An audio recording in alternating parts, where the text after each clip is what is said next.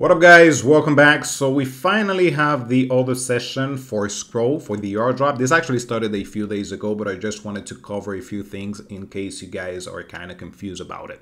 So the first one that we had was actually without us knowing, and it was by burning some fees on Scroll. So back in 2023, I started farming Scroll, swapping, trading, doing a lot of things and burning a lot of fees. And by now I actually have a pretty decent amount of marks.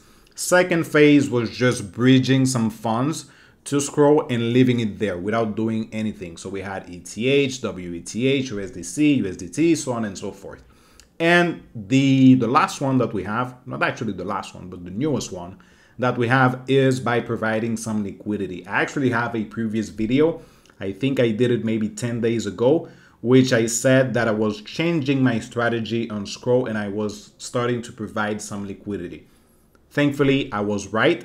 And what I have been doing since then is just providing some liquidity on Ambient because we're earning some marks by doing so. And also Ambient is tokenless.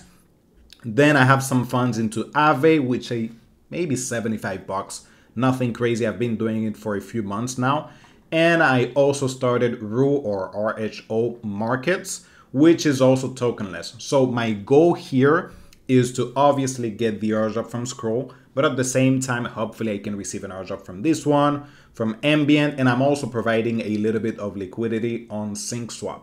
Now, for Ambient, one thing you need to take into consideration is that if your range is tight, you're gonna be earning more marks. So how you do that? You go to the ambient site, uh, site, which again, it is tokenless, but I'm not really expecting nothing huge out of this because I'm not providing something crazy like 10K, 50K of liquidity. So I'm not really earning that much points. You go to pool. Obviously, you need to be on scroll. And then once you go to provide some liquidity, which I'm just providing ETH USDT and also ETH USDC, and the amount that you want to provide. So if you're using 1K, you need to have around $500 worth of ETH and then around $500 worth of USDT or USDC or whatever token that you're using.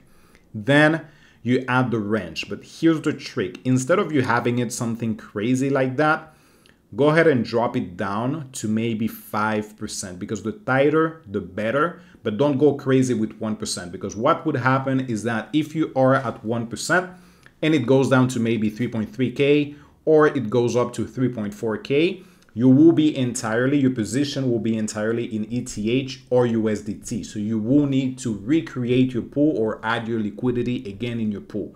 So it doesn't really make sense because you will need to be checking your um, liquidity every few hours. So for me, how I do it is that I'm usually sitting anywhere between 4% or 5%. So that is a pretty decent range or maybe even 3% if things are looking kind of stable.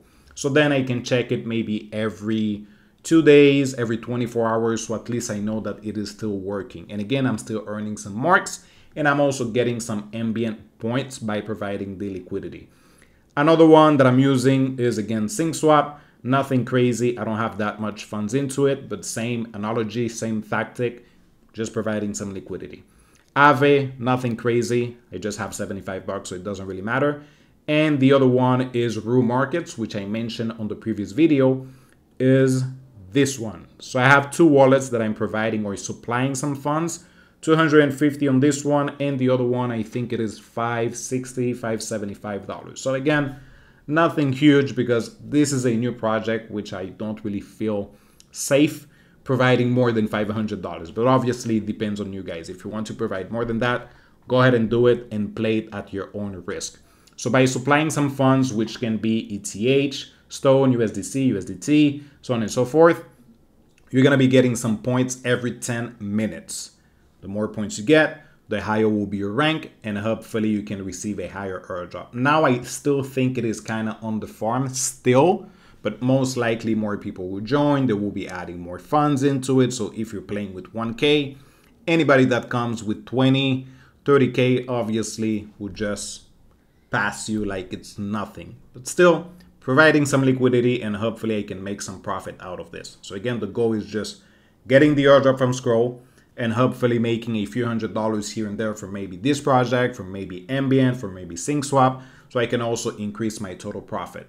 So at the moment, this is the, the phase or the stage that we are in. Most likely they will be adding more. So maybe in the future we have something like trading so we can actually just burn more fees so it doesn't really matter the amount of funds that we have available.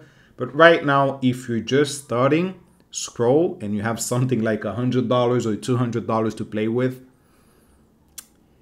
uh, I would probably just move to something else. Now, if you have been using Scroll since 2023 and you already have a pretty decent amount of marks and you maybe have a few hundred dollars, a few K that you're not planning to use, maybe sitting on Arbitrum, sitting on Optimism, go ahead and bridge it, add some liquidity, obviously at your own risk. S choose something that you like, maybe Ambient, maybe SyncSwap, maybe Rue, add some funds and try to increase your marks. But don't expect something crazy by just using a few hundred dollars. For me, I'm still using it because I already have a pretty decent amount of marks.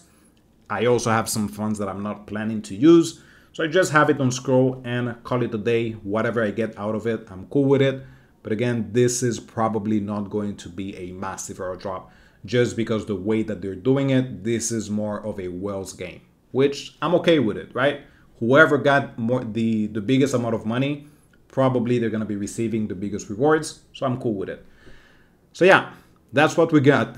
probably uh, just let me know if there is anything else you guys think I should cover and scroll. But I think this is pretty self-explanatory. But yeah, just let me know if you have any questions, any doubts. Oh, by the way, some of these are still not showing the points. So for example, for Rue markets and SyncSwap and some of these, they're not showing the points yet, but most likely over the next week or so, we should start seeing our points. So yeah, there you go, guys. Thank you for watching. Take care. Bye-bye.